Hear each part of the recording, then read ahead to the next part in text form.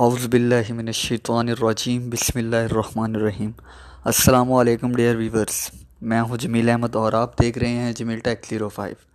دوستو، آج میں ایک نیو واٹس اپ اپڈیٹ کے ساتھ حاضر ہوا ہوں، جو کہ بہت ہی امپورٹنٹ ہے، جو کہ ابھی حال ہی دنوں میں اپڈیٹ ہوا ہے، تو میں نے کہا اپنے فرینڈ سے شیئر کر لوں۔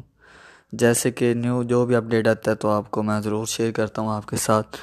تو ایک ریکویسٹ یہ ہے کہ کائنڈلی جو میرے اس ویڈیو کو دیکھتے ہیں، وہ کائنڈلی ویڈیو کو شیئر بھی کیا کریں اور کمنٹ بھی کیا کریں۔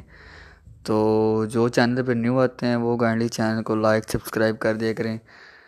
تو بہت ہی اچھا ہوگا۔ ٹھیک ہے، اب ہم ویڈیو شروع کرتے ہیں۔ لیکن جب اس سے پہلے کچھ بتانا چاہتا ہوں کہ واٹس ایپ نے جو اپڈیٹ کیا ہے نا، اس اپڈیٹ میں پہلے ہم کسی کسی بھی بندے کا نا یا گروپ کو چیٹ کو نا میوٹ کرتے تھے مطلب وہ کچھ ٹائم ہوتا تھا مطلب اسے چھ منتھ کے لیے ون منتھ کے لیے، یا ون ایئر کے لیے ون ویک کے لیے مطلب اسے ہم میوٹ کر سکتے تھے۔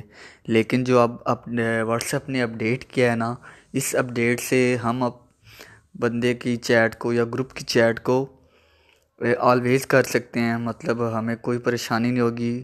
یہ جو واٹس ایپ نے نیو اپڈیٹ کیا ہے، یہ آپ کو دکھاتے ہیں، تو اس کے لیے سب سے پہلے ہم نے اپنے واٹس ایپ کو اپڈیٹ لازمی کرنا ہے، کیونکہ وداؤٹ اپڈیٹ یہ آپشن کو نہیں مل سکتا۔ تو آئیے ویڈیو شروع کرتے ہیں۔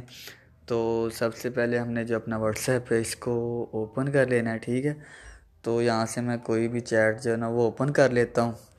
تو یہاں پہ تھری ڈاٹ پہ کلک کرنا ہے اور یہ میوٹ نوٹیفیکیشن کا آپ کو آپشن مل رہا ہے۔ تو آپ نے یہاں پہ کلک کر کے یہ آپ دیکھ سکتے ہیں، آٹھ اور ون ویک تو اب اب اس کے آل ویز پہ کر دیں گے تو یہ میوٹ آل ویز ہو جائے گا۔ تو جی گائز یہ آئی ہے نیو اپڈیٹ امید کرتا ہوں کہ آپ کو یہ ویڈیو اچھی لگے گی۔ اگر ویڈیو اچھی لگی تو ضرور شیئر کیجیے گا، اپنے فرینڈس کے ساتھ اور فیڈ بیک ضرور دیجیے گا۔